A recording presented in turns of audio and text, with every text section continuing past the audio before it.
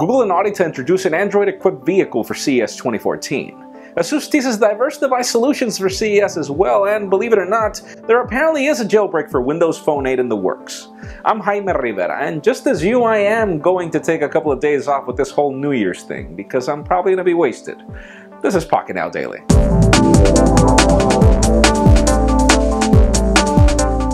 You came here for official news, the problem is that for the holidays, that's kind of a tough one. And, well, all we've got is teasers for CES. Let's start it off with Samsung. The company is apparently planning to bring us another 64-bit chip. And the reason why I say another is because the Exynos 6 is already in the works. That's this typical 64-bit ARM-based chip. But apparently the company is working on the Exynos S, which is a custom-made 64-bit chip that is apparently going to bring some unique features that we still don't know about. Obviously, they have to announce them first, so stay tuned. We'll keep you posted at CES.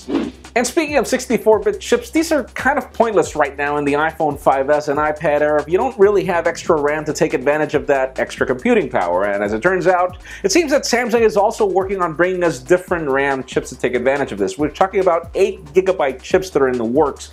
And apparently these are also going to be the news at CES. We still don't know if we're actually getting a phone that's powered by these immediately, but stay tuned, 8 gigabytes of RAM. That'll be the day.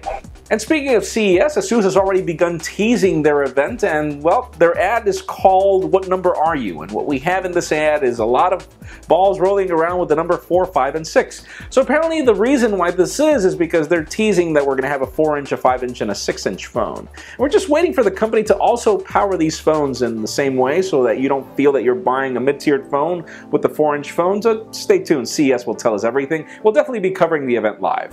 And I've been repeating the word console over and over again just to not forget it because the next news are from Windows Phone as we've got this Chinese dev team called Ponsole. And the idea is that they have already jailbroken a Lumia 920, and we can see this because there is a video showing us the device running a third row of tiles, which we know that is currently available for only 1080p devices. So stay tuned as apparently they are building an app store just like Cydia. We just don't know when they're planning on doing so.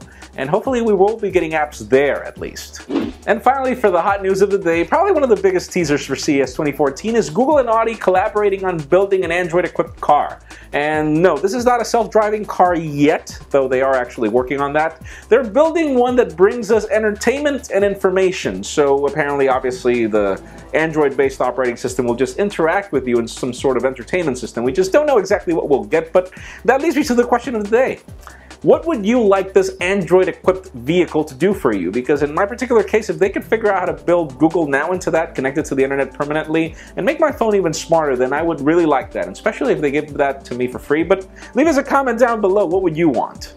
And friends, you know the drill. If you want to get the news earlier before this video is filmed, make sure you follow us on PocketNow.com and subscribe to our YouTube channel as well. You can also follow me on Twitter, Jaime underscore Rivera. Please give this video a thumbs up if you like what you saw. I am Jaime Rivera. Thank you very much for watching. We will see you on Thursday 2nd, because I will be off.